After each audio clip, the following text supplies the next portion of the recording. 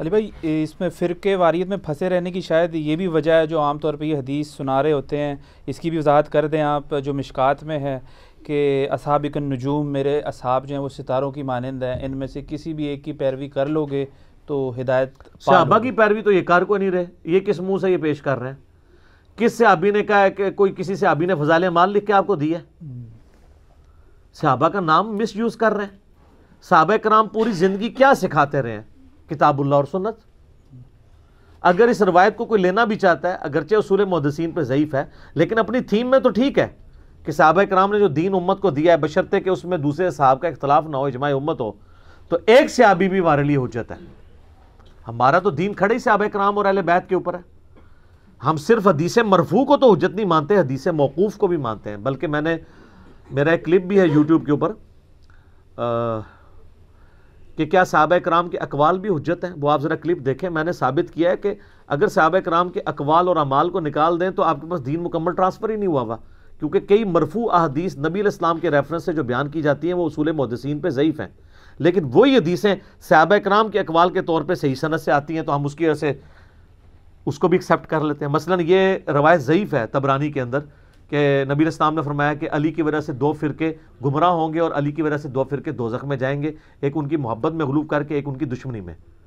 लेकिन इसको सपोर्टिव मौकूफ़न मौला अली का अपना कौल है, फ़जाइल से अबाम बिन हम्बल की किताब में, कि मेरी वजह से दो फिरके गुमराह होंगे। यानी मेरी वजह से ये नहीं कि मैं उनको गुमराह करूँगा बुराद यह कि मुझे तख्ता मश्क बनाएँगे, जिस तरह क्रिश्चियंस ने हज़रत ईसा इस्लाम को तख्ता मश्क बनाया है। हज़रत ईसा का तो कसूर नहीं है। यहूदियों ने उनका इनकार करके गुमराह हुए हैं। और ईसाई उनमें गलूब करके गुमराह हुए हैं। इस तरह मौला अली के गलूब करके राफजी गुमराह हुए और नासबी उनकी दुश्मनी करके और खवारी उनकी दुश्मनी करके गुमराह हुए। तो ये अदीस मौकूफ़न मौला अली का कौल है। ये सही सनत है। इसकी वजह से हम कहते हैं कि वो नबी इस्लाम की तरफ़ जो मनसूब हदीस थी, वो भी फिर सही होगी। अगरचे उसकी सनत कमज़ोर है। स्पोर्ट यहाँ से मिल गई। कई चीज़ें हैं जो हमें साहब कराम के अमाल और अकवाल से मिलती हैं, जो नबी इस्लाम से साबित नहीं होती हैं। सुनन दारमी में हदीस है। इबन अब्बास कहते हैं कि जो शख्स सुबह के वक्त सूरह यासीन पढ़ ले शाम तक अल्लाह ताला हर अमल में उसके लिए कफ़ायत करेगा और जो शाम को पढ़ ले सुबह तक कफ़ायत करेगा। ये वाहिद हदीस है सूर्य यासीन की शान में बाकी सब कमज़ोर हैं। अच्छा इसी तरह की एक हदीस सुनन दारमी में नबी इस्लाम की तरफ़ से भी है वो इंतहाई कमज़ोर है ये सही है। फिर हम कहते हैं अच्छा ये इबन बास का जो कौल है ना इसका मतलब है कि नबी इस्लाम ने भी ये फरमाया होगा क्योंकि इबन बास अपनी मर्ज़ी से ये बात नहीं कर सकते थे। इसमें हो सकता है शैतान आपको वसवसा दिलाए। कि जो हमारी दीसें ज़यीफ़ की हुई हैं इन्होंने हो सकता है उसकी कोई सही सनत भी हो। और वो भी घूम गई हो। ना ना ना। दीन की हिफाजत की ज़िम्मेदारी किसकी है? अल्लाह अल्लाह की। अल्लाह घुमड़ नहीं देगा। कभी वो मौला अली के अकवाल की शक्ल में जमा करवा देगा कभी सईदना अबू बकर की शक्ल में कभी सईदना उमर की शक्ल में।